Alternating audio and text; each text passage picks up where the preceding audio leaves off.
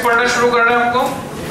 Lecture number one में पढ़ा चुका था। उसको मैं फास्ट फॉरवर्ड कर रहा हूँ।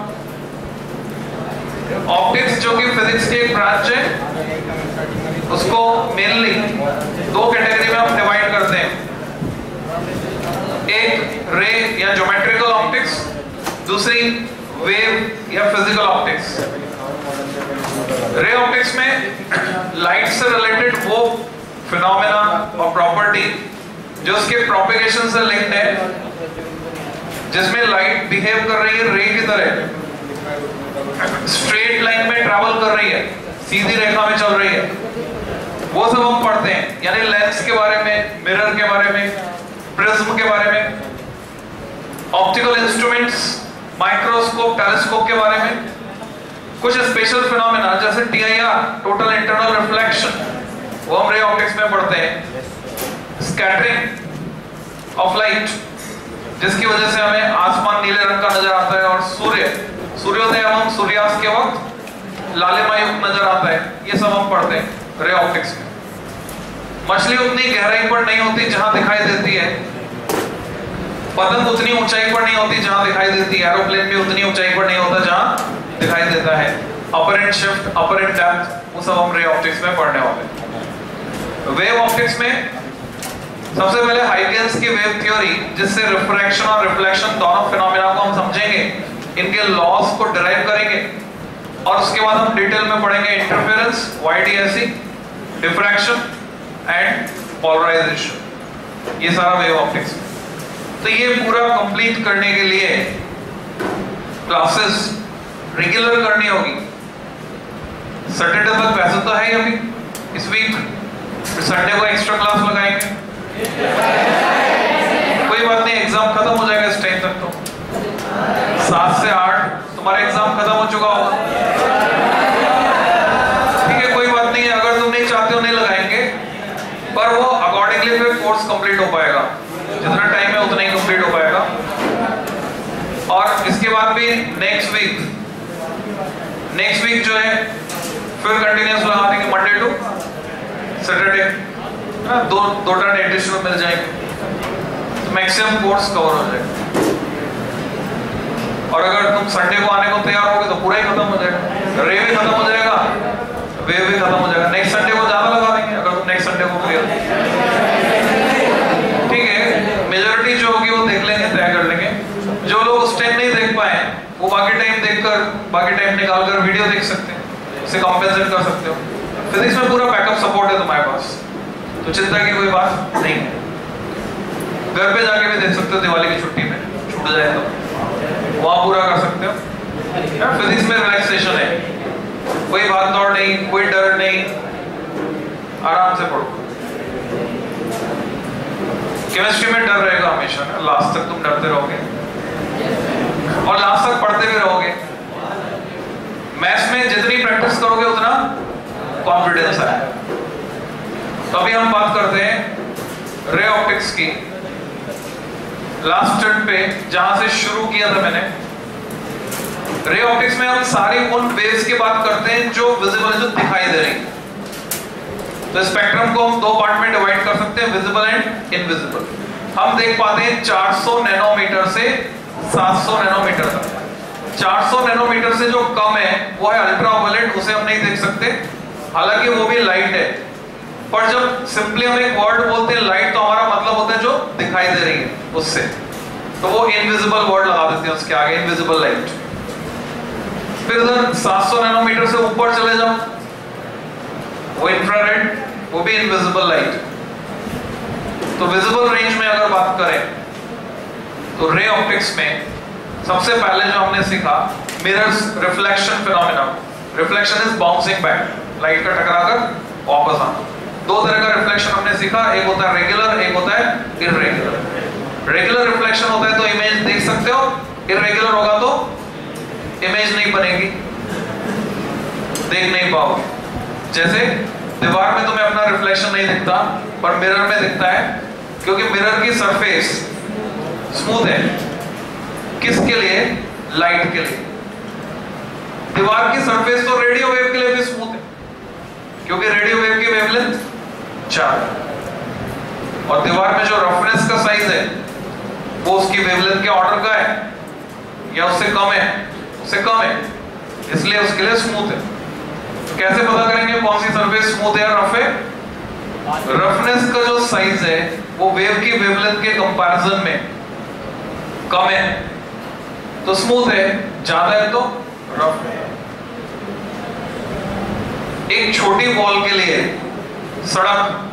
स्मूथ है कि रफ है? रफ है। टप्पा खिलाओगे इधर उधर, जा सकती है कंकड़ पत्थर। एक फुटबॉल के लिए सड़क। स्मूथ है। समझ गए? फिर हमने ये सीखा कि सिलेबस में प्लेन मिरर नहीं है बोर्ड के सिलेबस में। तो प्लेन मिरर से रिलेटेड सारी बातें हमें तैयार नहीं करनी बोर्ड के लिए। कर्व मिरर्स हैं उसमें spherical mirrors convex and concave convex अगर बाहर से उभरा हुआ है कॉनकेव यानी धंसा हुआ है। कॉनकेव मिरर रेस को कन्वर्ट्स करता है कॉन्वेक्स मिरर डाइवर्ट्स करता है। अकॉर्डिंगली उनकी कुछ एप्लीकेशंस हैं सबसे पहले हम मिरर्स के बारे में टर्मिनोलॉजी सीखते हैं। Pole aperture the part expose to air is called aperture जो खुला हुआ हिस्सा है। पोल जो उसका सेंटर पॉइंट है। अपर्चर को डायमीटर के बराबर मान लेते हैं रफली एग्जैक्टली वो बराबर नहीं होता, पर बोर्ड लेवल पर तुम अपर्चर और डायमीटर को इंटरचेंजेबली यूज़ कर सकते इन दो टर्म्स फिर उसके बाद हमने सीखा न्यू कार्टेशियन साइन कन्वेंशन एक यूनिफॉर्मिटी लाने के लिए सभी फॉर्मूले में हमें साइन कन्वेंशन को फॉलो करना होता है कि रे हम दिखाते हैं बोर्ड में, हर रे डायग्राम में moving from left to right positive x axis इसलिए साइन कन्वेंशन का नाम है कार्टेशियन साइन कन्वेंशन तो रे जा रही है left to right along positive x axis तो सारी डिस्टेंसेस हम नापेंगे. पोल ऑफ़ द मिरर से इन केस ऑफ़ मिरर और अगर लेंस है तो optic centre of the lens से. तो रे जा रही है जिस डायरेक्शन में पॉजिटिव एक्स डायरेक्शन में, उतनी उस डायरेक्शन में जितनी भी डिस्टेंसेस नापेंगे वो सब पॉजिटिव उसके अपोजिट नापेंगे वो नेगेटिव प्रिंसिपल एक्सिस से ऊपर नापेंगे along positive axis positive along negative axis negative ये हो गया साइन कन्वेंशन उसके बाद हमने एक छोटा सा डेरिवेशन किया radius of curvature of a mirror and focal length उनके बीच रिलेशन निकाला कि जो फोकल लेंथ है, वो होती है r by 2 एग्जैक्टली इसमें cos थीटा का फैक्टर भी आता है जब तुम कंपटीशन में तैयार करते हो. और बोर्ड लेवल पे हम अपर्चर को छोटा मानते हुए cos थीटा को 1 मान लेते हैं। इसलिए हो जाता है f इक्वल टू by 2 जब तक रेडियस ऑफ़ कर्वेचर में कोई चेंज नहीं आएगा मिरर की फोकल लेंथ में कोई चेंज नहीं आएगा। इस कंसेप्ट को यूज़ करके तुमसे सवाल पूछा जाता है। एक मिरर को पानी में डुबो दिया, बताओ, उसकी फोकल लेंथ पर क्या असर होगा?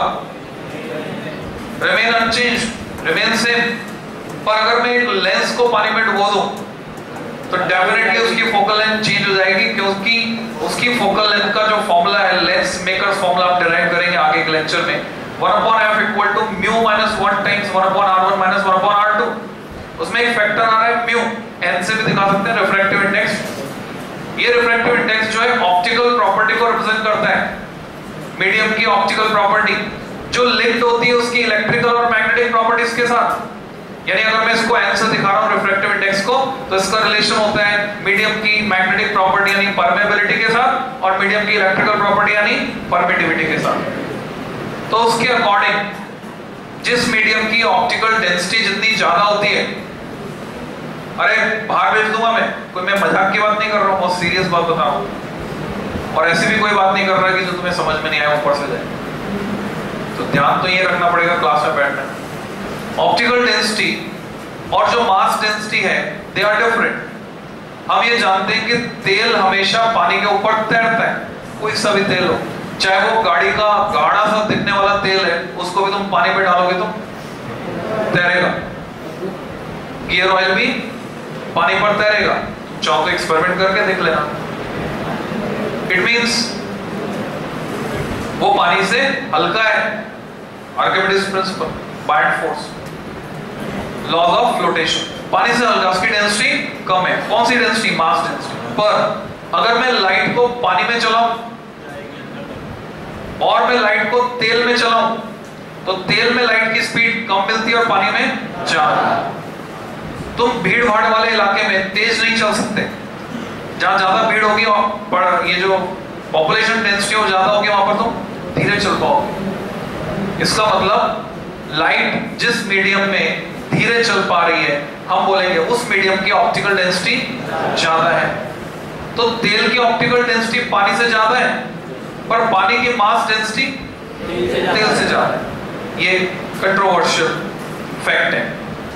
तो mass density and optical densities are different अब, जिस मीडियम की ऑप्टिकल डेंसिटी जितनी ज़्यादा होगी फॉर एग्जांपल पानी से ज़्यादा है, कांच की कांच से ज़्यादा है डायमंड अकॉर्डिंगली उसकी जो उसका जो रिफ्रैक्टिव इंडेक्स है, वो बढ़ता जाता है।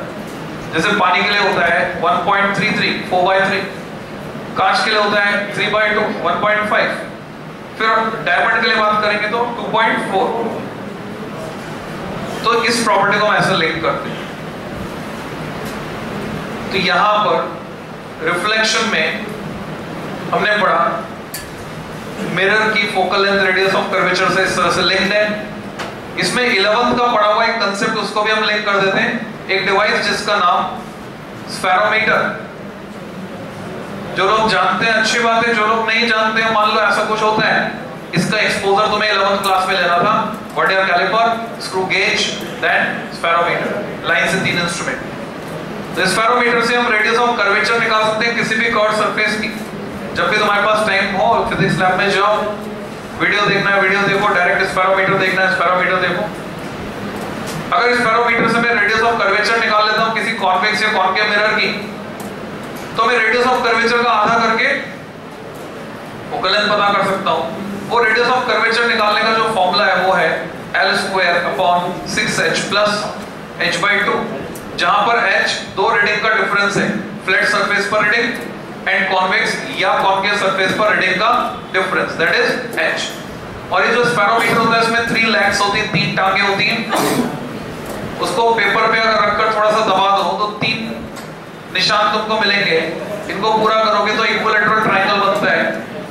इसकी लंबाई अलग-अलग साइड्स की L1 L2 L3 अगर तुम मान लो तो जो L है, वो होता है इसका mean L1 plus L2 plus L3 bye 3 तो इस फॉर्मूले से फोकल लेंथ निकाल सकते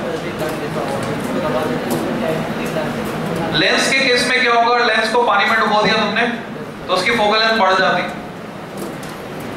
इन जनरल अगर हम ये मान के चले डिफ़ॉल्ट से कि लेंस का मटेरियल है ग्लास या फिर क्वार्ट्ज पर अगर इस लेंस को किसी ऐसे मीडियम में डुबोएँ जो ज़्यादा ऑप्टिकली डेंसर है यानी लिक्विड होने के बावजूद सॉलिड से ज़्यादा ऑप्टिकल डेंसिटी हो सकती है किसी की। इसलिए मैं मास डेंसिटी ऑप्टिकल डेंसिटी को डिफरेंशिएट कर रहा हूँ। ऐसा कोई लिक्विड हो सकता है जो कि कांच सॉलिड से ज़्यादा ऑप्टिकली डेंसर हो। और ऐसा लिक्विड है CS2 कार्बन डाइसल्फाइड तो अगर मैं कॉन्वेक्स लेंस को कार्बन डाइसल्फाइड में डालता हूँ कॉन्वेक्स जो टर्म है कॉन्वेक्स लेंस का काम होता है रेज को कन्वर्ज करना। तो इसको हम कॉलीमेटिक भी बोलते हैं। टर्मिनोलॉजी से तुम्हें फैमिलियर होते हैं जो डाइवर्ज करता है, उसको बोलते हैं नॉन कॉलिमेटिक तो ये कॉन्वेक्स लेंस कॉन्केव की तरह रेस को डाइवर्ज करना शुरू कर देता है। तो बोलेंगे diverging lens convex lens inside CS2 acts as diverging lens और कॉन्केव लेंस उल्टा करेगा, वो कन्वर्ज करना शुरू कर तो ये जानकारी तुमको होनी चाहिए। और आगे और पढ़ लेंगे हम। तो ये डेरिवेशन हमने करने के बाद मिरर फॉर्मूला डिराइव किया। मिरर के लिए रिलेशन कराया किया था object distance u image distance v are focal and f के बीच. And this relation comes to be 1 upon f equal to 1 upon p plus 1 upon u. It is called mirror equation or mirror formula. Similar triangle method से इसको derive किया था, जिसमें हमने object triangle और image triangle लिया था. ऐसा का ऐसा डेरिवेशन दोबारा करने वाले लेंस फॉर्मूले के लिए. तो सिमिलर मेथड वापस तुम यूज़ करोगे सिमेट्री आएगी डेरिवेशन इसको यूज़ करना तुम्हें आना चाहिए। यहाँ तक लास्ट मैंने पढ़ाया था। Next heading is magnification magnification magnification में पूरी बात समझ लो, पूरी टर्मिनोलॉजी समझ लो। यहाँ बोलेंगे मैग्निफिकेशन कम्युनिकेशन सिस्टम में पड़ गया है गेन गेन मैग्निफिकेशन का उल्टा डिटोरिएशन हो जाएगा। या बोलेंगे डिमिनिश होना मैग्नीफाई होना डिमिनिश होना। सिमिलर टर्म्स क्या है? Gain and loss similar term क्या है? एम्प्लीफिकेशन एंड एटेन्यूएशन एम्प्लीफिकेशन बढ़ना एटेन्यूएशन घटना। तो ये मिलती जुलती टर्म्स है तो अगर वन से ज़्यादा मिल रहा है, इसका मतलब इमेज ऑब्जेक्ट के रिस्पेक्ट में बड़ी है वन से कम मिल रहा है मतलब इमेज ऑब्जेक्ट के रिस्पेक्ट में छोटी है। माइनस में मिल रहा है मतलब इमेज ऑब्जेक्ट के रिस्पेक्ट में उल्टी है इन्वर्टेड है। तो मैग्निफिकेशन से हमें काफ़ी जानकारी मिल जाती है। मैग्निफिकेशन हम बोलते हैं सिर्फ़ मैग्निफिकेशन तो उसका मतलब होता है लीनियर मैग्निफिकेशन से। और लीनियर में भी पर्टिकुलर कौन सी पोजीशन वाला, या तो ट्रांसफर्स या तो lateral here is concave mirror this is principal axis object को रखा है ऐसे तो ट्रांसफर्स भी बोल सकता हूँ। अगर इसको ट्रांसफर्स कह रहा हूँ ऑब्जेक्ट को ऐसे रख दिया तो बोलूँगा लेटरल अगर इसको ट्रांसफर्स कह रहा हूँ तो इसको बोलूँगा lateral transverse and lateral are interchangeable but अगर ऑब्जेक्ट को मैंने अलोंग द प्रिंसिपल एक्सिस रख दिया now it is called longitudinal magnification तो अगर सिंपल मैग्निफिकेशन बोल रहे हैं either it may be transverse it may be lateral but अगर अलोंग द एक्सिस रखा है तो बोलेंगे लॉन्गिट्यूडिनल मैग्निफिकेशन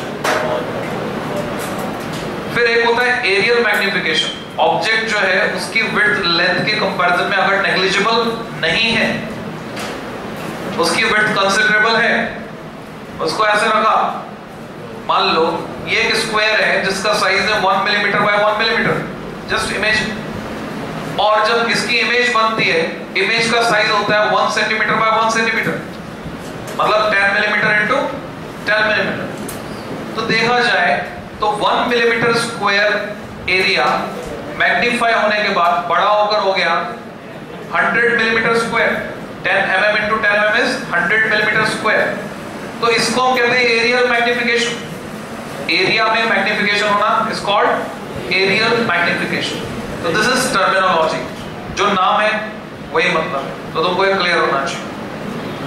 तो मैग्निफिकेशन की सिंपल सी डेफिनेशन लिखेंगे अच्छा एक और होता है एंगुलर मैग्निफिकेशन वो माइक्रोस्कोप टेलीस्कोप पढ़ेंगे, वहाँ डिफाइन करेंगे। एंगुलर मैग्निफिकेशन को मैग्नीफाइंग पावर भी कहते हैं। तो तुम्हें कंफ्यूज नहीं होना है।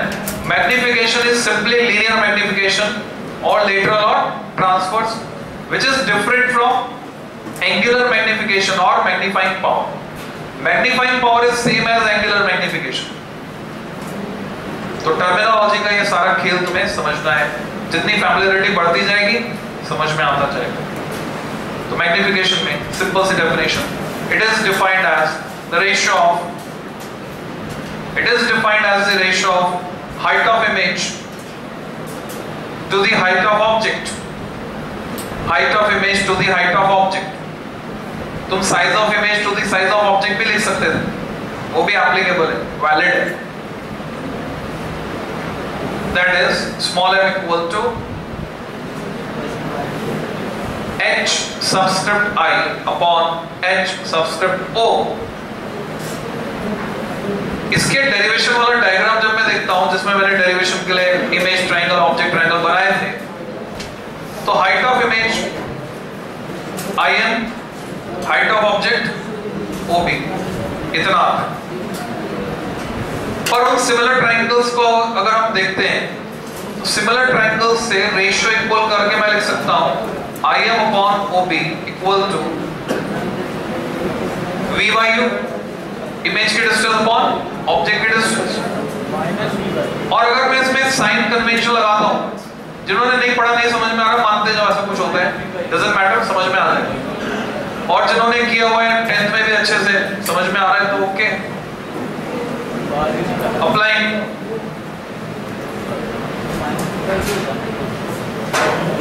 साइन कन्वेंशन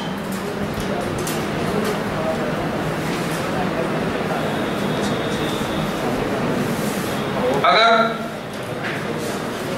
सिचुएशन इस तरह से है कि ऑब्जेक्ट रखा है बियॉन्ड दी फोकस तो उसकी इमेज बनेगी इन्वर्टेड तो एक माइनस साइन यहाँ आएगा।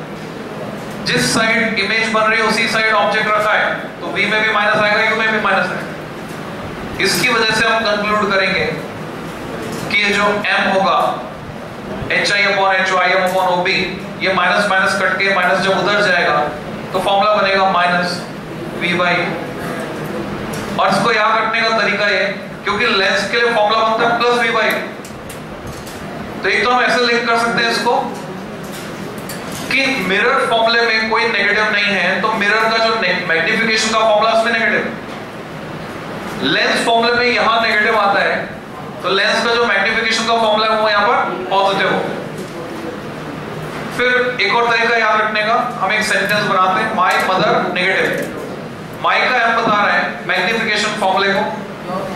मदर का एम बता रहा है फॉर मिरर तो magnification formula for mirror my mother negative has a negative sign तो लेंस के फॉर्मूले में क्या होगा? पॉजिटिव इन दो फॉर्मूले का इस्तेमाल तुम्हें सिखाया गया है। सॉल्ट एग्जांपल 9.1, 9.2 एंड 9.3 कैसे इनको यूज़ करना है? तो मैं डिस्कस कर रहा हूँ। 9.1, 9.2, 9.3 9.1 सॉल्ट एग्जांपल की बात करें तो तुमसे कहा गया है एक मिरर है एनसीईआरटी है तो खोल के देख लो, नहीं तो ध्यान से सुनो, समझ में आ जाएगा, परेशान होने की कोई ज़रूरत बहुत मज़े मज़े की पढ़ाई है मज़े मज़े से कर लो। कुछ भी इसमें मुश्किल नहीं।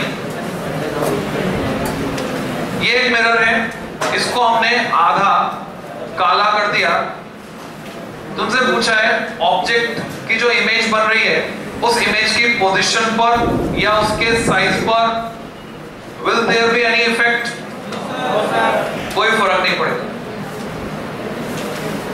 पर उसकी इंटेंसिटी कम हो जाएगी। अब इस सवाल को हम दूसरी तरह से देखें। तुम कैमरा से फ़ोटो खींच रहे हो, एक मक्खी आकर लेंस पर बैठ गई। कैमरा के लेंस पर। क्या वो फ़ोटो में आएगी? दिखाई देगी? कैमरा फोकस्ड है जिसकी फ़ोटो तुम खींच रहे हो उस पर फोकस्ड है। जवाब है उसकी इमेज नहीं आएगी प्रैक्टिकल करके देख सकते हो देख लेना। ठीक है? क्या करना? मोबाइल के कैमरे में एक बाल चिपका देना। ठीक? अब फ़ोटो खींचना। फोकस ना करना जिसका फ़ोटो खींच रहे हो उस पर फोकस करता है ना जैसे तुम पेज की फ़ोटो खींचते हो तो फोकस करता है थोड़ा सा टाइम लेता है। तुम देखोगे उस बाल की फ़ोटो नहीं आएगी। पर इमेज में इमेज की क्वालिटी में देयर विल बी डिफरेंस वो थोड़ी डल होगी उसमें इंटेंसिटी कम होगी। बिकॉज़ उस मक्खी ने उन रेस को रोक लिया जो उस पोर्शन से अंदर जाकर एक्सपोज कर या अंदर जाता सिमिलरली ये तो मिरर की बात की हमने। मिरर को आधा कर दिया आधा तो आधी हो जाएगी। मैं लेंस की बात करूँ तो लेंस के लिए भी वैलिड है सेम फैक्ट तुम्हें चश्मा बनवाना था, दुकानदार के पास गए, दुकानदार ने बोला कि आपके चेहरे पर ये बड़ा फ्रेम अच्छा नहीं लगता, उसने इसका आधा वाला फ्रेम दिया, बोला, अब आप हीरो लग रहे हो। ये जो फ्रेम है, छोटा वाला, ये आपके चेहरे पर अच्छा लगता है। डॉक्टर ने कहा था, बेटा, तुम अगर लगातार चश्मा लगाओगे, लगाए रखोगे तो तुम्हारा नंबर कम होता चले जाएगा, तुम्हारी आँखें ठीक होती पर तुमने जो चश्मा लगाया, वो लेंस पूरा नहीं लिया, आँख को पूरा नहीं ढक रहा है। तो डॉक्टर की बात गलत साबित हो जाएगी, नहीं, उसको लगाने के बावजूद, क्योंकि तुम्हें इंटेंसिटी कम मिल रही है, सारी रेज लेंस में से होकर नहीं जा पा रही है, क्योंकि लेंस ही छोटा है। तुम्हारी आँखें और कमज़ोर होती जाएगी, नंबर बढ़ता चले जाएगा। तो ये फैक्ट लेंस के साथ भी वैलिड है। Clear now the second question एक मोबाइल फ़ोन बना हुआ है। तुमसे पूछा है इमेज के डिस्टोर्ट होने का कारण कौन के मिरर है? इसका प्रिंसिपल एक्सिस अगर मैं ये स्फीयर कंप्लीट करूँ तो ये है ऑप्टिक सेंटर सही बोल रहा हूँ क्या? गलत बोल रहा हूँ। है ना? तुम्हारा माइंड रिएक्ट करना चाहिए। अगर तुम एक्टिव बैठे हो, तुम्हारा इन्वॉल्वमेंट है तो जैसे मैं कोई गलत काम बोलूँ तुम्हारे माइंड में से रिएक्शन आना चाहिए ये कुछ अनफैमिलियर आ गया। It is not optic center, this is center of curvature. This is center of curvature C. तो फोकस कहाँ होगा? डेफिनेटली इसके आधे पर कहीं होगा। समवेयर है मोबाइल फ़ोन को इस तरह से रखा गया है।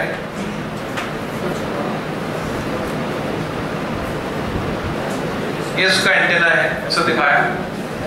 तो इसकी जो इमेज बन रही है, उस इमेज को ऐसे बनता हुआ दिखाया है कि इसका जो हिस्सा सी पर है, उस पार्ट का मैग्निफिकेशन वन होगा। यानी सेम साइज़ जितना ये, उतना इधर। बाकी जो हिस्सा है, उसकी इमेज इस तरह से दिखाई डिस्टोर्टेड चार साल, पाँच साल पहले इस पर काफ़ी बहस हुई। एडवांस में पढ़ाने वाले टीचर्स ने बोला कि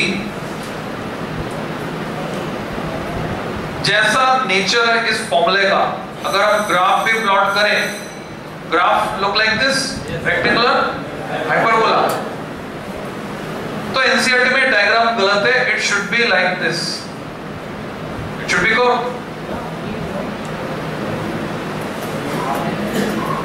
हमने प्रैक्टिकली देखा। मैं तो मैं तो प्रैक्टिकल करता हूँ सीधे। जाके ऑप्टिकल बेंच पे मोबाइल रख के देखा, कैसा देख रहा है। स्ट्रेट देखा। उधर से फिर एक्सप्लेनेशन आया, नया एक्सप्लेनेशन आया, कि एक्चुअल में कर्व्ड होता है but we are seeing a very small part so it look like straight कई बार ऐसा होता है। अगर हम अपनी बात नहीं समझा पाते हैं तो फिर उसे गोलमाल करना पड़ता है। तो गोलमाल करने के लिए बच्चे को घुमा दिया जाता है। बच्चा तो बेवकूफ़ बन जाता है आराम से, बड़ी बात तो थोड़ा घुमा देते हैं हम बात को। समझाने के लिए ऑन द स्पॉट समझ में आ जाए। बाद में एक्सप्लेनेशन मिल जाता तो बताते हैं, कोई प्रॉब्लम नहीं है। पर ऑन द स्पॉट जिज्ञासा शांत करने के लिए थोड़ा घुमा देते हैं। बोलते हैं, नहीं, वो क्या है? तो कर्व बट छोटा पार्ट देख रहे हैं so it looks like straight line okay समझ में आ गया उस समय की प्रॉब्लम खत्म हो। टाइम बीइंग सॉल्यूशन मिल गया। बाद में बच्चों की तरफ़ से सॉल्यूशन आया। It can not be curve इस पर क्वेश्चन बना के डाल दिया बुकलेट में। तुम्हारी जो बुकलेट होती है मेन क्लासेस में मिलती है, उसमें क्वेश्चन बना के डाल दिया और जिन बच्चों ने स्ट्रेट किया, उनका रॉन्ग भी कर दिया। ठीक है? पेपर में डालकर या ऐसे कुछ रेस में डालकर उनका रॉन्ग भी कर दिया। फिर बाद में बच्चों की तरफ़ से सॉल्यूशन आया। बच्चे ने बोला कि ये जो है, ये इस फॉर्मूले से लिंक्ड नहीं है। It is not linked with this formula it is linked with formula of magnification इससे लिंक्ड है। कि इस पार्ट का मैग्निफिकेशन इतना ही है। ये अगले पार्ट की बात करेंगे तो इसका मैग्निफिकेशन ज़्यादा होगा। अगले की बात करेंगे तो मैग्निफिकेशन और ज़्यादा होगा, क्योंकि हम किधर बढ़ते जा रहे हैं? Towards focus and this relation is linear So this should be a straight line. अभी करंट एक्सप्लेनेशन क्या है? ये स्ट्रेट लाइन सही स्ट्रेट लाइन होगा। हाँ मान के सब मान क्लियर तो ये क्वेश्चन के साथ ये इतिहास था। और आगे चलते हैं। अच्छा पूछा इमेज डिस्टोर्टेड क्यों है? अभी कुछ बच्चे कंफ्यूजन बोले, वो तो आपने बताया नहीं, जो पूछा था। इमेज डिस्टोर्टेड क्यों है? क्योंकि एनसीईआरटी में भी नहीं बताया।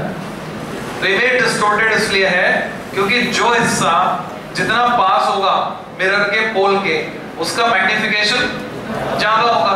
अभी तुम चले जाना मेले में जब भी टाइम मिले जब भीड़ कम हो ना? चार बजे के आसपास जाओ तीन बजे के आसपास जाओ दोपहर में घूम के आ जाओ। ना तो भीड़ होगी ना पॉल्यूशन होगा। ठीक है? अब वहाँ पे हसीगढ़ नाम का एक वो आता है जिसमें कांच लगाते हैं अलग अलग तरह के और वो जो कांच लगा रखे हैं तुम उस कांच के सामने जाके खड़े हो रहे हो तुम्हारा मुँह तो इतना सा तुम्हारा पेट इतना बड़ा। तो क्या बोलेंगे? इरेगुलर मैग्निफिकेशन के कारण। इमेज कैसी हो गई? Distort so image get distorted because of uneven magnification clear now 9.3 वो एक प्योर न्यूमेरिकल है। Directly based on this formula and this formula formula based application है। सीधे सीधे तुम उसको सॉल्व कर सकते हो। साइन कन्वेंशन लगाना सीखोगे उसके थ्रू तुम। कि साइन कन्वेंशन को कैसे अप्लाई किया जाता है? दो पार्ट है उसके। घर पे जाके आराम से उसको सॉल्व कर लेना। 9.3 बस एक बार देखना है। अब मैंने बोला देख कर सॉल्व कर लेना। घड़ी देखने को नहीं बोला। घर पे जाके अगर देखकर सॉल्व करोगे, मुश्किल से कितना टाइम लगना है? दो मिनट हार्डली पर अगर तुमने अभी नहीं देखा विद इन ट्वेंटी आवर्स नहीं देखा, बाद में देखोगे एग्ज़ाम के टाइम में तो तुम्हें पाँच मिनट लगेंगे कम से कम। उसको समझने में अभी कितना लगेगा? सिर्फ़ दो minute. It is up to you फिर नेक्स्ट है 9.4 उसको समझते हैं। 9.4 को समझने से पहले मैं एक क्वेश्चन तुम्हारा तैयार करवा देता हूँ। स्टेट बोर्ड में भी आता है सीबीएसई में भी आता है। हमेशा के लिए ऐसे, बिना लेके ऐसे तैयार कर प्लेन मिरर की एप्लीकेशन तुम जानते हो, तुम्हें मिरर की एप्लीकेशन पता होनी चाहिए। दो दो एप्लीकेशन एटलीस्ट पता होनी चाहिए। प्लेन मिरर तो सिलेबस में नहीं है। ऐसे ही पैसे पता होनी चाहिए application to see our sir हम अपना चेहरा देखते हैं उसमें टू सी आवर सर सजावट में काम आता है? पान वाले की दुकान पर देखो तो मिरर से सजावट होती है। कुशन कवर में देखो तो छोटे छोटे मिरर लगा देते हैं। सजाने के लिए बचपन में तुमने क्राफ्ट वर्क किया है। मिरर लगाया इसमें ठीक है? और अगर पुरानी फ़िल्म की बात करें, मुगले आज़म मधुबाला प्यार किया तो डरना क्या? शीश महल में शूटिंग उसमें क्या है? बहुत सारे मिरर्स हैं। फिर प्लेन मिरर के बाद अगर हम बात करें कॉनकेव मिरर की तो कौन मतलब जैसे तुम एक इमेज एसोसिएट कर देते हो तो वो परमानेंट हो जाती है। पार्ट तो एप्लीकेशन प्लेन मिरर की अब तुम बोल नहीं सकते कभी। तो एप्लीकेशन तो फटाक से बता दोगे, कब जब भी पूछेंगे। कॉनकेव मिरर के एप्लीकेशन में जाते हैं। तो जितने भी रिफ्लेक्टर हम यूज़ कर रहे हैं, गाड़ियों के हेडलैम्प में हालाँकि तुमने सीखा कम्युनिकेशन सिस्टम में कि ये स्पेरिकल हुआ करते थे पहले कभी लैम्परेटा लैम्पी और राजदूत के जमाने में? सर अभी कैसे होते हैं? Parabolic but these are concave concave parabolic reflector तो ये एक एप्लीकेशन है. एक पैरेलल बीम ऑब्टेन करने के लिए हम यूज़ करते हैं कॉनकेव पैराबोलिक रिफ्लेक्टर या concave parabolic mirrors as reflector और क्या एप्लीकेशन है कॉनकेव मिरर की? डॉक्टर के पास कभी गए हो?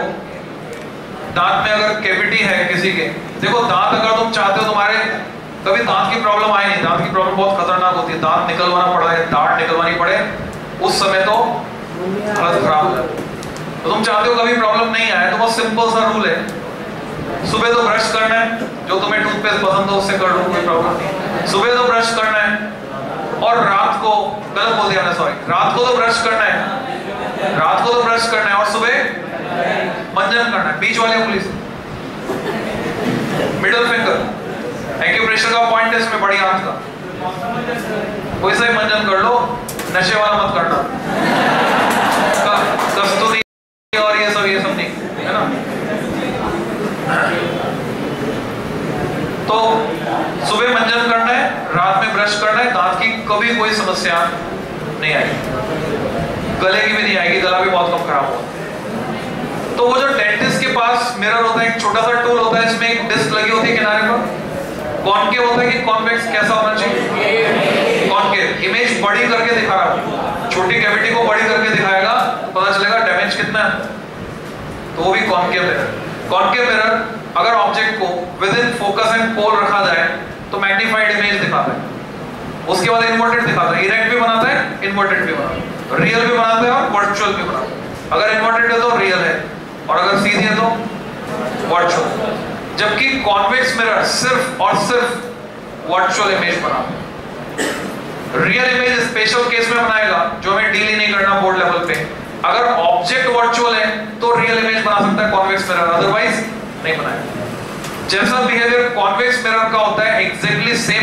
concave lens का होता है। जैसा बिहेवियर कॉनकेव मिरर का होता है exactly same behaviour convex lens का होता है। सिमेट्री ये तुम्हें समझनी चाहिए सिमेट्री तो वापस लौटते हैं, जो मैं तुम्हें बता रहा था एप्लीकेशंस तो कॉनकेव मिरर की एक और एप्लीकेशन है रेस को कन्वर्ट कर रहा है। फ़िलहाल सोलर कुकर अगर हम यूज़ करते हैं, उसमें प्लेन मिरर यूज़ होता है। उसमें तुम दलिया पका सकते हो, चावल बना सकते हो, खिचड़ी, दाल पका सकते हो केक बना सकते हो, क्या रोटी सेक सकते हो?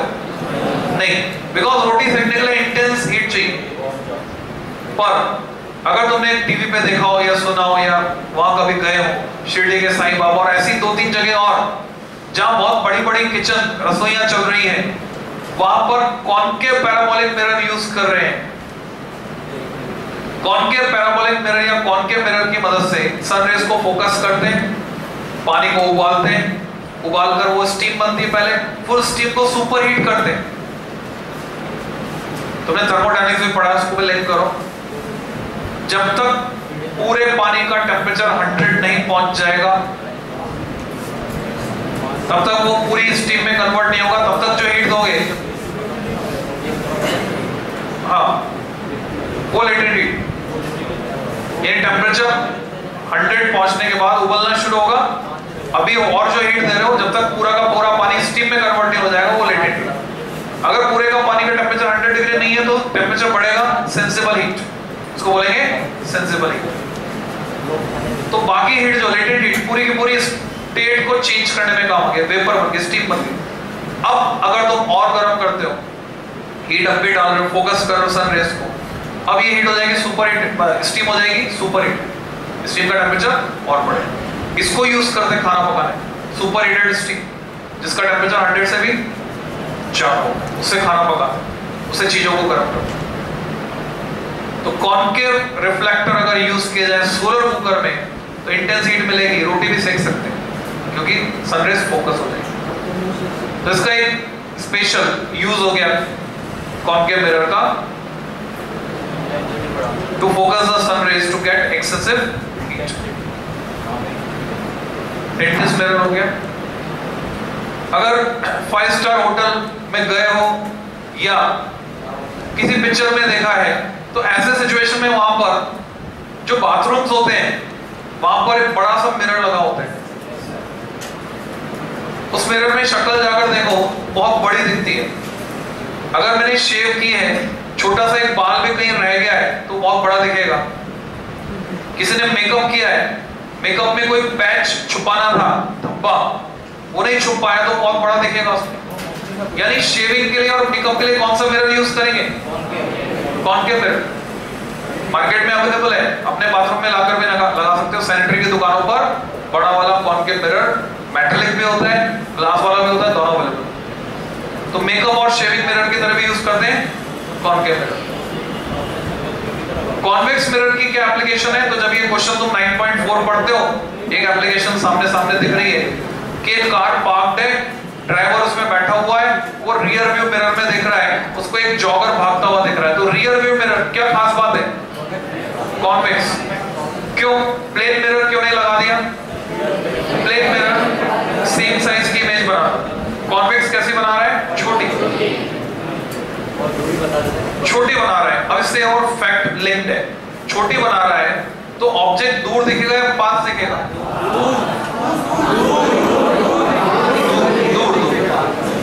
जो छोटा दिखता है, वो एक्चुअल में छोटा एंगल सबटेंड करता है मतलब वो दूर दिखेगा। जो पास होता है, वो आप पे बड़ा एंगल सबटेंड करता है, वो बड़ा दिखता है। हनुमान जी का हाथ, राम लक्ष्मण तो राम लक्ष्मण हाथ पर बैठे तो राम लक्ष्मण कहा होंगे? बहुत दूर होंगे। हाथ होगा कैमरा के पास तो हाथ बहुत बड़ा दिखेगा, राम लक्ष्मण इतने छोटे दिखेंगे। फिर तुम फ़ोटो खिंचाते हो ऐसे हाथ, कुतुब मीनार तुम्हारे हाथ के नीचे। तो तुम कैमरा के पास होते हो, कुतुब मीनार, दूर होती है। जो छोटा होता है वो दूर। फिर मिरर में जाके देखोगे लिखा हुआ है ऑब्जेक्ट सीन्स ऐसा कुछ लिखा हुआ है। तो वेरीफाई कर लो, उसको पढ़ के देख लो। तो एक्चुअल में जितना पास होते हैं कंपैरेटिवली दूर दिखते हैं। उतना पास दिखते नहीं, क्योंकि छोटा दिख रहा है। तभी large field of view cover कर पा रहा है। उसमें स्पेशल प्रॉपर्टी आ गई। पीछे का large field of view cover करेगा, जो एसेंशियल है, वो हमें देखने के लिए चाहिए, जिससे हमें क्लैरिटी हो पीछे कितने व्हीकल्स जा रहे हैं। तो रियर व्यू मिरर हम बनाते हैं कॉन्वेक्स मिरर को। ठीक है? तो एक एप्लीकेशन तो ये होगी। एक और एप्लीकेशन बताऊँ convex mirror other than rear view mirror कहाँ यूज़ कर? हाँ कहाँ पर? ओके शॉप्स में यूज़ करते हैं। अगर सीसीटीवी कैमरा नहीं लगाया है, हम चाहते हैं पूरी शॉप का व्यू एक ही जगह से मिल जाए, कहीं कोई गलत, कोई सामान पार्ट तो नहीं कर रहा है। तो उसमें दिखता रहेगा वो। Large field of view cover कर देगा। तुम्हें लग रहा है कहीं कुछ गड़बड़ है तो सीधे तुम वहाँ डायरेक्ट देख सकते फिर ऐसी कई जगह होती है जहाँ पर एक्सीडेंट का खतरा रहता है। फॉर एग्जांपल बेसमेंट में अगर तुमने कभी गाड़ी पार्क की यहाँ पर तो इधर से तुम गाड़ी लेकर जा रहे हो, नीचे उतर रहे हो, उधर से कोई वापस आ रहा है? एक्सीडेंट का खतरा है। तो क्या होना चाहिए? वहाँ एक कॉन्वेक्स मिरर लगना चाहिए जस्ट सामने। तो जो उधर से आ रहा है, उसको तुम दिख जाओगे जाते हुए, और तुम जा रहे हो, तुमको उधर से वो आता हुआ दिख जाएगा। Large field of view cover करेगा कॉन्वेक्स तो ये एप्लीकेशन है उसकी। एक और एप्लीकेशन है, पुरानी फ़िल्मों में, राज कपूर की फ़िल्मों में लैंप पोस्ट हुआ करते थे। आजकल गार्डन में देखने को मिलते हैं, चबूतरा। ये लैंप पोस्ट इस तरह का लैंप होता है। एलन के सामने नाले के किनारे किनारे भी लगे हुए हैं। ये बल्ब। अब इस बल्ब की रोशनी कहाँ चाहिए? ऊपर फैलेगी तो। ऊपर फैलेगी तो कीट पतंगे, कीड़े, मकोड़े और इकट्ठे हो जाएँगे। रोशनी चाहिए नीचे अराउंड दी बेस तो हम क्या करते हैं? ऊपर यहाँ पर एक कॉन्वेक्स मिरर लगा दिया जाता है। और ये कॉन्वेक्स मिरर लाइट रेज को रिफ्लेक्ट करके डाइवर्स करके नीचे गोल दायरे में फैला देता है लैंप पोस्ट के आसपास। तो कॉन्वेक्स मिरर की ये भी एक एप्लीकेशन है। मान लो एग्ज़ाम में तुम्हें वर्ड्स बनाना नहीं आ रहा it is use to diverse the rays around the lamp post तो तुम क्या करो डायग्राम बना दो। सेल्फ एक्सप्लेनेटरी डायग्राम है। नंबर मिल जाएगा जांचने वाले को ज़्यादा खुशी होगी क्योंकि इसको देखते वो समझ जाएगा तुम क्या कहना चाहते तो कॉन्वेक्स मिरर की एप्लीकेशन हमने पढ़ ली। 9.4 को समझते हैं। 9.4 क्वेश्चन जो है ड्राइवर कार में बैठकर पीछे से आने वाले जॉगर को देख रहा है। मिरर जो लगा हुआ उसका रेडियस ऑफ़ कर्वेचर दिया दो मीटर तो तुम्हें उसकी फोकल लेंथ मिल गई? एक मीटर जॉगर कांस्टेंट स्पीड से जॉगिंग तो कांस्टेंट स्पीड से की जाती। तुम भागोगे जॉगिंग करोगे तो कांस्टेंट स्पीड जॉगर 5 मीटर पर सेकंड की कांस्टेंट स्पीड पे दौड़ रहा है। तुमसे पूछा गया है कि जब मिरर के पोल से मिरर से 39 मीटर की दूरी पर है, फिर इसमें पार्ट्स है 29 मीटर है 19 मीटर है 9 मीटर है तो बताओ ड्राइवर को उसकी स्पीड कितनी ऑब्ज़र्व होगी, कितनी महसूस होगी, कितनी एक्सपीरियंस होगी? ये पूछा गया। नंबर लगा दो 9.4 एक फॉर्मूला में डिराइव करवा रहा हूँ डिराइव करो। I think relation between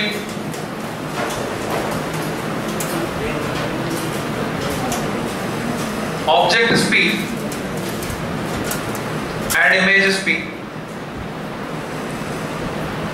इसमें तुम एक एक्सपेरिमेंट भी करके देखना, कभी किसी रेस्टोरेंट में खाना खाने जाओ, चमचमाती हुई चम्मच तुम्हारे पास हो, और एक चींटी कहीं से मिल जाए चींटी को चम्मच के पास छोड़ दो। कौन के साइड रखो। चींटी मूव कर रही चम्मच की तरफ़, चम्मच से दूर। ध्यान से उसकी इमेज देखो। इमेज का साइज़ बढ़ता, घटता महसूस करो। साथ में स्पीड को महसूस करो। कॉन्वेक्स साइड से देखो। बढ़ता, घटता महसूस करो इमेज के साइज़ को। और अकॉर्डिंगली महसूस करो कि स्पीड कैसे बढ़ रही है घट रही है। जब भी इमेज का साइज़ बढ़ता हुआ लगेगा, हमें लगेगा स्पीड बढ़ रही प्लेन मिरर में तो क्या होता है? सेम कॉन्वेक्स या कॉन्केव मिरर में इमेज के साइज़ पर डिपेंड करेगा। हमें स्पीड बढ़ती कांस्टेंट स्पीड से आ रहा है जॉगर पर हमें उसकी स्पीड बढ़ती हुई या घटती हुई महसूस हो। तो वही पूछा है 5 मीटर पर सेकंड है, कितनी महसूस होगी? अलग अलग डिस्टेंसेस पर। तुम लिखोगे we know that mirror formula 1 upon f equal to 1 upon b plus 1 upon u ये मिरर फॉर्मूला है। मैं इसको डिफरेंशिएट करना चाहता हूँ, क्योंकि इमेज की स्पीड अगर मैं निकालना चाहता हूँ इमेज की पोजीशन है v तो इमेज की स्पीड होगी डी dt ऑब्जेक्ट की पोजीशन है u तो ऑब्जेक्ट की स्पीड होगी du dt now differentiating it with respect to time we get now differentiating it with respect to wrt with respect to time we get differentiating it with respect to time. Focal length क्योंकि constant है, उसका differentiation zero one upon X का differential था minus one upon X square इसका हुआ minus one upon V square पर V जो है टाइम का फ़ंक्शन नहीं है, साथ में आएगा dv by dt minus one upon U square मतलब v तो है टाइम का फ़ंक्शन वन अपॉन v नहीं. वन अपॉन यू भी नहीं है तो साथ में आएगा du बाय dt रेफरेंस साइड में तुम मेंशन कर सकते हो dv bye dt is nothing but image speed v subscript i. du by dt is simply object speed, v subscript o. तो एक दो स्टेप इसमें खाकर डायरेक्टली मैं लिख सकता हूँ। V I equal to minus V square upon U square times V O this is a formula relation between image speed and object speed किसी को किसी स्टेप में डाउट है पूछ लो। और अगर क्लियर है तो बात को आगे बढ़ाओ। यानी कैलकुलेट करो, तुम्हारे पास वीओ है। तुम्हारे पास u है 39 मीटर फ़र्स्ट पार्ट के लिए सॉल्व करो। V निकालो, पहले ये फॉर्मूला लगाओ। F is 1 v is unknown u is 35 along with sign convention sorry 39 along with sign convention रखोगे तो minus 39 minus 39 रख के v निकालो वो v निकाल के यहाँ रखो u minus u को भी 39 रखो v को रखो 5 and calculate how much is v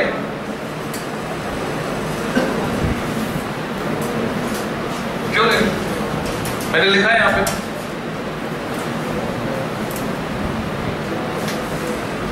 हमारी मर्ज़ी लिखते हो तो उसको मेंशन करो क्या है? तो जब तुम ये कैलकुलेट करके देखते हो, एक तो तुम्हें माइनस साइन मिलता है लॉजिकली मिलना चाहिए। And you will get V I equal to minus one upon three twenty जो एक्टिव बच्चे हैं, जिन्होंने कैलकुलेशन की है they will get around this. Minus 1 upon 320 metre पर सेकेंड लॉजिक समझ में आया कैसे? पहले इसमें u की जगह minus 39 v question mark f की जगह 1 मीटर फिर ये जो v आया, उसको यहाँ पे रखा। U को रखा 39 vo की जगह 5 मीटर पर second you will get this अब जब तुम एनसीईआरटी का सॉल्यूशन उसका आंसर देखते हो सीधे 39 के लिए तो उसका आंसर है माइनस तो नहीं लगा हुआ है। हम इसके लिए माफ़ कर देते हैं एनसीईआरटी छापने वाले को। मिस्टेक हो गया उनसे। There should be a negative sign object इधर जा रहा है तो इमेज वेलोसिटी इज़ अपोजिट हाँ स्पीड बोल रहे हैं तो ओके माइनस साइन हम नेगलेक्ट कर सकते हैं। माइनस लगा दोगे तो भी कोई प्रॉब्लम नहीं है, नहीं लगाओगे तो भी कोई प्रॉब्लम नहीं है। माइनस साइन से डायरेक्शन बता। उसमें लिखा हुआ है 1 अपॉन 280 हम ऐसे भी नहीं कह सकते कि रफली they are same they are not same these are different तो कारण ढूंढना पड़ेगा डिफरेंस का। कारण ये है कि ये तो है इंस्टेंटेनियस स्पीड इसमें हमने कंडीशन लगाई है limit delta T tends to zero instantaneous this is instantaneous speed और एनसीईआरटी में जो कैलकुलेट किया है, वो है एवरेज एवरेज स्पीड तो फिर सवाल उठता है, क्या कैलकुलेट करना चाहिए? तो फिर क्वेश्चन की लैंग्वेज हुए लिखा है ड्राइवर को क्या ऑब्ज़र्व होगा? तो हमारा जो परसिस्टेंस ऑफ़ विजन है 16 फ्रेम पर सेकंड उसकी वजह से हम इंस्टेंटेनियस देख ही नहीं सकते। परसिस्टेंस ऑफ़ विजन को परसिस्टेंस ऑफ़ साउंड से समझो जो हमें पढ़ा है। ये तुम्हें आवाज़ आ रही डिस्टिंग्विश कर पा रहे तुम अलग अलग आवाज़। मैंने फ्रीक्वेंसी पढ़ाई तुम तब तक डिस्टिंग्विश कर पाओगे जब तक एक सेकंड में दस बार नहीं बजा देता मैं। दस बार से ज़्यादा बजा दिया तो तुम्हारा कान का पर्दा स्टिमुलेट नहीं होगा। पहली साउंड दूसरी साउंड में मिल जाएगी, तुम्हें लगेगा कंटिन्यूस आ रही। जस्ट लाइक दैट 16 फ्रेम से ज़्यादा होते तो हमें लगता है कंटिन्यूस तो फ़िल्म में हमें इसी तरह से बेवकूफ़ बनाया जाता है। होते फ्रेम्स हमें लगता है पूरा सब कंटिन्यूस चल रहा है मोशन फ़िल्म क्योंकि उसमें चल रहे थे 25 फ्रेम्स पर सेकंड या 30 फ्रेम्स पर सेकंड तो मधुमक्खी तो फिर भी इंस्टेंटेनियस देख सकती है। उसके लिए परसिस्टेंस ऑफ़ विजन है 1000 फ्रेम पर सेकंड एक सेकंड का हजारवां हिस्सा देख सकती हो। हम देख सकते हैं एक सेकंड का सोलहवां हिस्सा। इंस्टेंटेनियस नहीं देख पा रहे। कई बार तुम देखते हो डिस्कवरी चैनल पे गोली चला के गुब्बारे या कांच को फूटते हुए दिखाते हैं। स्लो मोशन कैमरा से इसकी शूटिंग करके। क्या हम वैसा देख पाते हैं? जवाब है नहीं। तो हम कैसा देख पाते हैं? एवरेज तो एवरेज अगर देखना है तो कैलकुलेशन का तरीका क्या? पहले हमने रखा u को माइनस थर्टी नाइन इसी फॉर्मूले में। और v निकाला इमेज की पोजीशन फिर एक सेकंड में हम जानते हैं, पाँच मीटर पर सेकंड की स्पीड से पाँच मीटर चल लेगा। पाँच मीटर चल लेगा तो पोजीशन उसके ऑब्जेक्ट की चेंज हो जाएगी जॉगर की पोजीशन हो जाएगी minus thirty five sorry minus thirty four minus thirty four रखूँगा आपकी बार यू फिर से v निकालूँगा। पिछला वी और इस वी का डिफरेंस निकालूँगा। तो एक सेकंड में इमेज कितनी शिफ्ट हो गई? पता चल गया? तो एक सेकंड में इमेज जो शिफ्ट हो रही है, वो है minus one upon two eighty metre अब एक सेकंड में शिफ्ट हो रही है इसलिए बोलूँगा मीटर पर सिक्स तो ये एवरेज स्पीड ऐसे बचे हुए तीनों पार्ट कर लो। क्लियर तो इस क्वेश्चन को अच्छे से करना है और इस कंसेप्ट को तुम्हें समझना है। What is the difference between instantaneous and average they are different इससे आगे की बात करते हैं। मिरर में सिर्फ़ एक ही डिफेक्ट पाया जाता है, उसका नाम है spherical aberration so heading defect of mirror defect of spherical mirror defect of spherical mirror dash उसका नाम लिखोगे। Spherical aberration.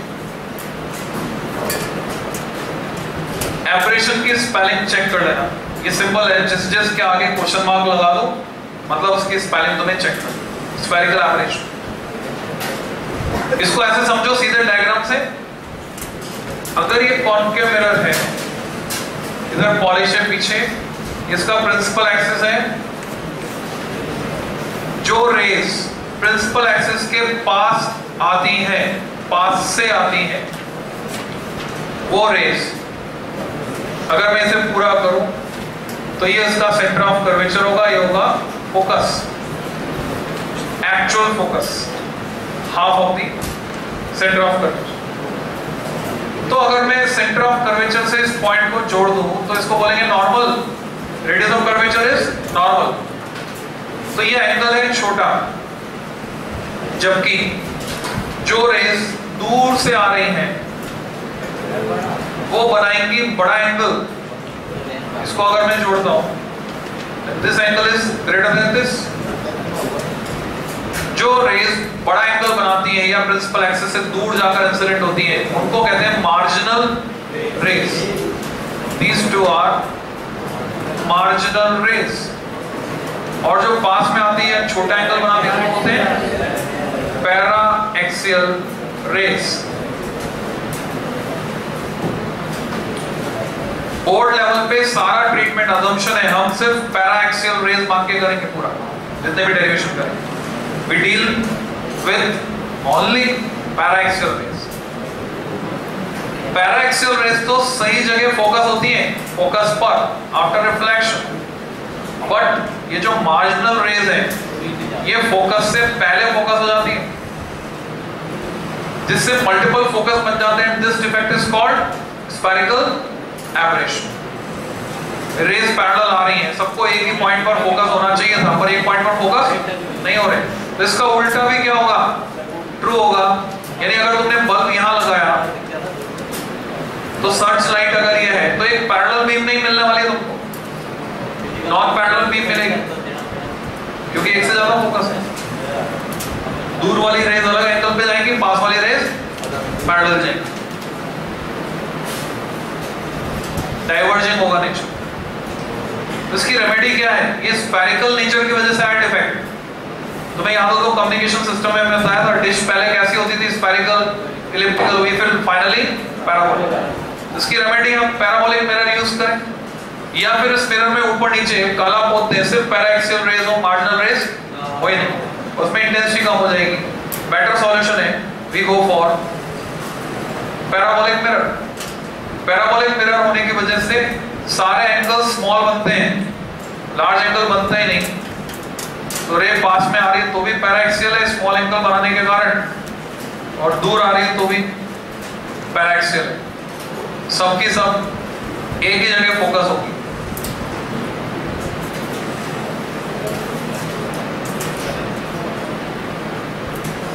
तो इसमें स्पेरिकल ऑपरेशन नहीं है। इसके लिए हम पैराबोलिक मिरर प्रेफर करते हैं जो भी तुम्हारे डाउट्स हैं पूछ लो रिफ्लेक्शन इज़ ओवर कल से हम पढ़ेंगे रिफ्रैक्शन अलॉन्ग विद क्वेश्चन हमने रिफ्लेक्शन को खत्म कर दिया। हाँ। स्फेरिकल शेप के कारण, इसका जो स्फेरिकल शेप है, उसकी वजह से ये डिफेक्ट आता है। इसको तुम प्रैक्टिकली समझ सकते हो। कैसे? Angle of incidence must be equal to angle of reflection वो रूल लगाओ। मैथमेटिकली समझने की कोशिश करो, नहीं तो प्रैक्टिकली समझने की कोशिश स्पेरिकल बॉडी लेकर लैब में चले जाओ स्पेरिकल मिरर मिल जाएगा। काफ़ी आप लिए। कल पढ़ेंगे आप। कैमरा को स्विच ऑफ़ करो।